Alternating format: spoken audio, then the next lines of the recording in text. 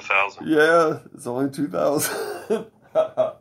But I think that the 50s were like a lot different than the 70s. yeah, oh, for sure.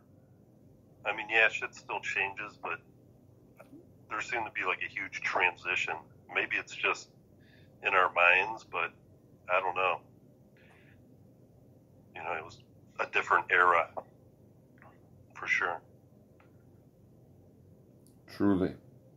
Like the 50s, you know, just. I guess maybe it's like uh someone looking back on the 80s and thinking it's all weird and shit. Yeah. but I don't know. Because that was like the introduction, like the television and you know shit like that. Oh, yeah, on a, on a mass scale, fuck yeah, man. Yeah, you know, radio, you know, Fucking- music, Howdy doody and Oh. shit. all this shit. Well, yeah, and then along came the fucking Well, people going into the studio and recording and Elvis rock and, and roll yeah, bands. You know, fucking Elvis. which are they're still trying to emulate to this day. You know. Oh,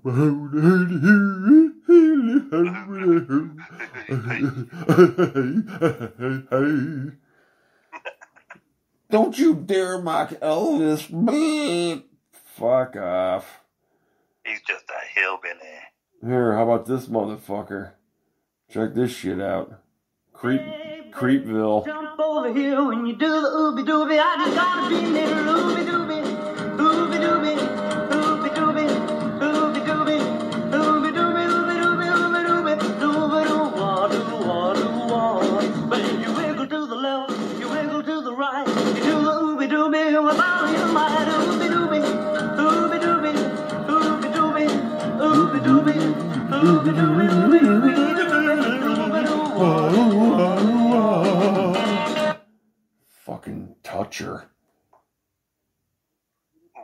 Hoobie doobie. Ooby dooby, yeah. Orbison.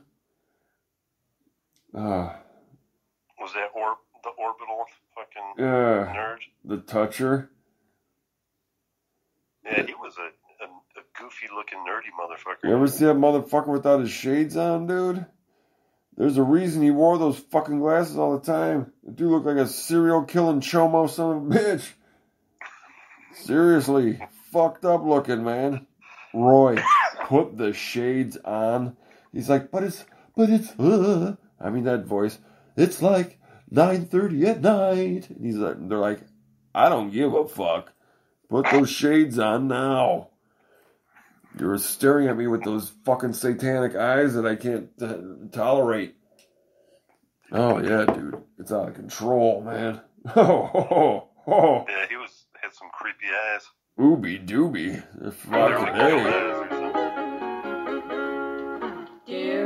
Awesome. is waiting for the sunrise. Every rose is covered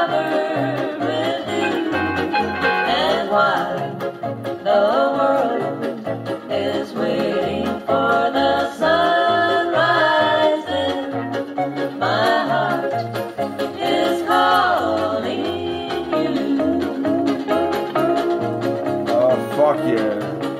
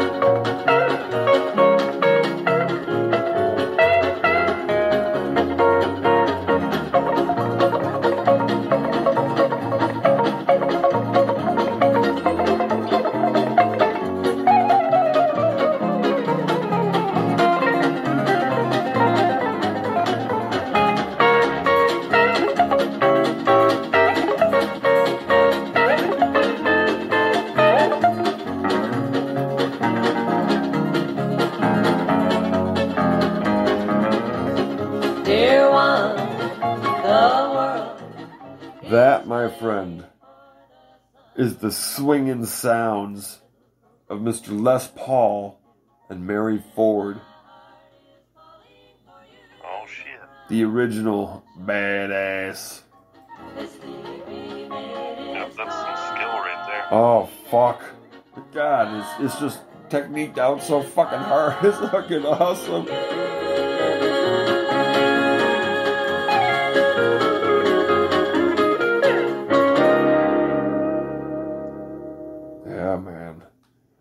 The first man to achieve multi track recording, meaning making a recording of himself playing, then taking that recording, rewinding it, and recording another track of himself playing with, uh, basically playing, accompanying himself.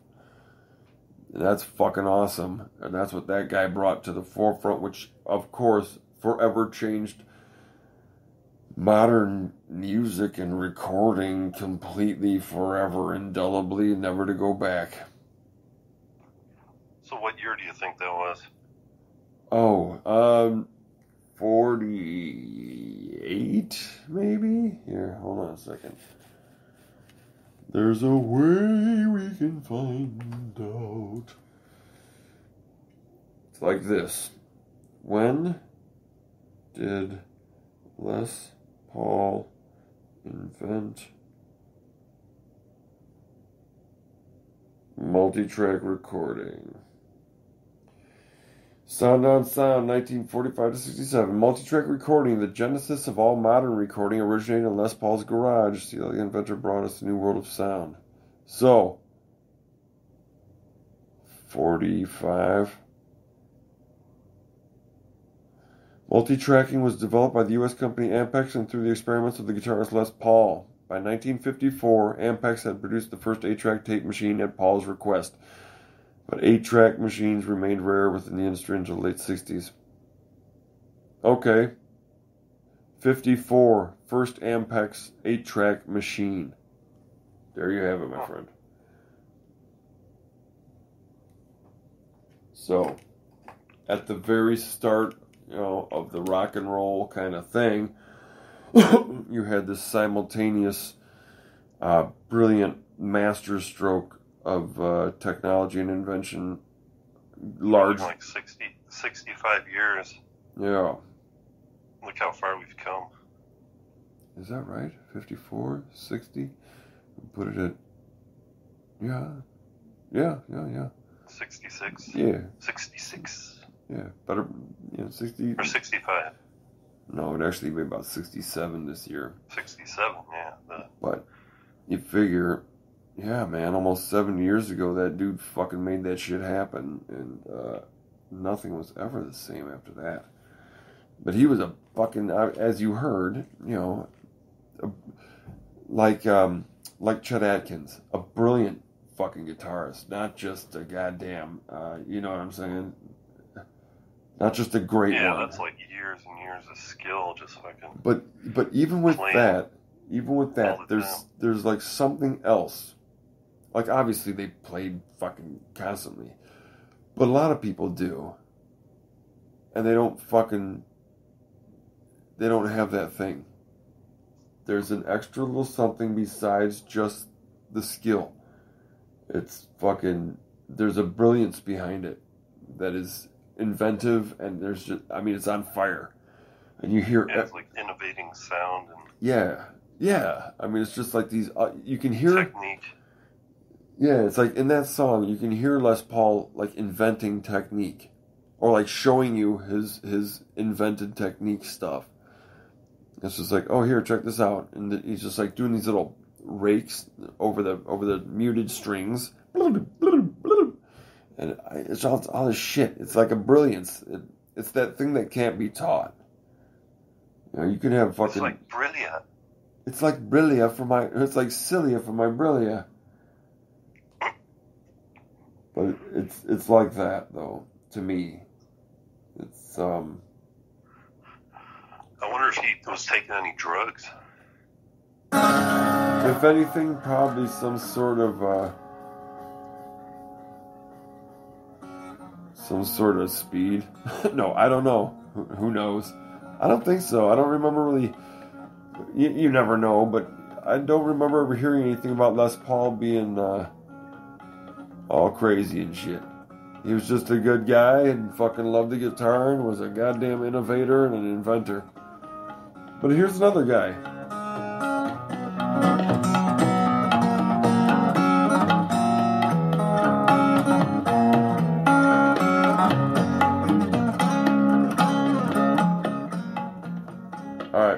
Dial that back for a minute because you know, fucking, all the Scroogle bots will get all fucking nutty about it. But there's another dude. This guy just there's something about it, man. I mean, was he the best to have ever touched the instrument? Well, obviously he would probably be regarded as one of them. Certainly. But there's just something about the way they fucking play. It just sticks with you, and you're like, that's a motherfucker right there. I don't, I don't know. I mean, I'm not trying to sound fatalist about it, like, oh, some people just, but I mean, that's uh, lots of great ones, but then there's the brilliant. How about this fucking tune?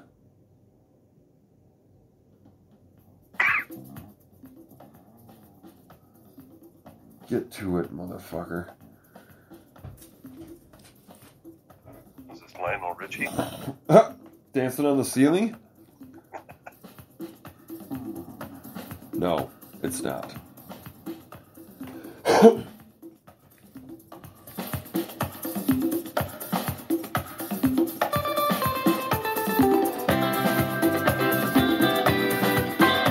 always love this tune.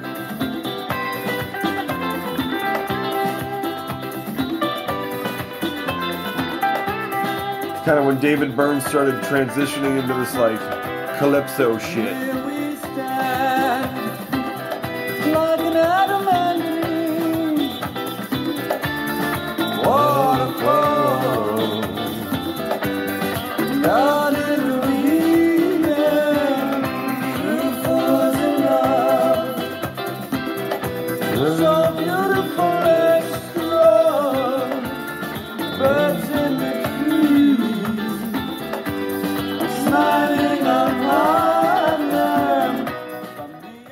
That's all we can do. That is for in instructional purposes only, not for enjoyment. Where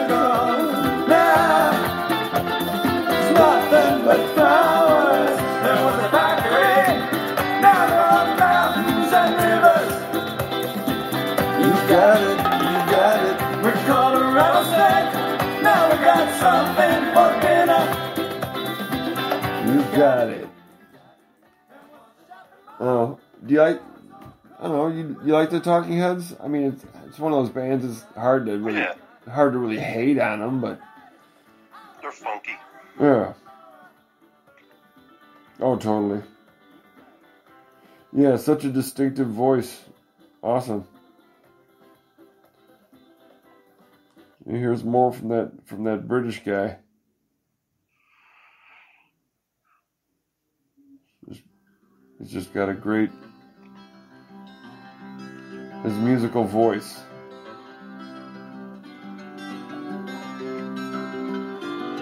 I hear some phaser in there. Oh yeah.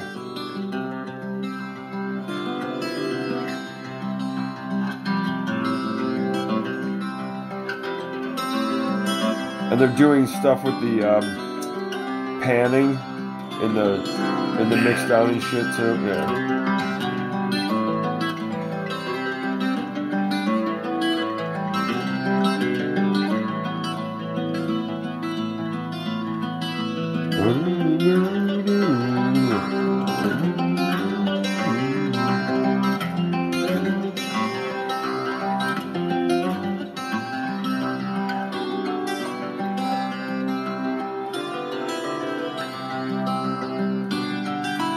Needless to say, there's also this guy.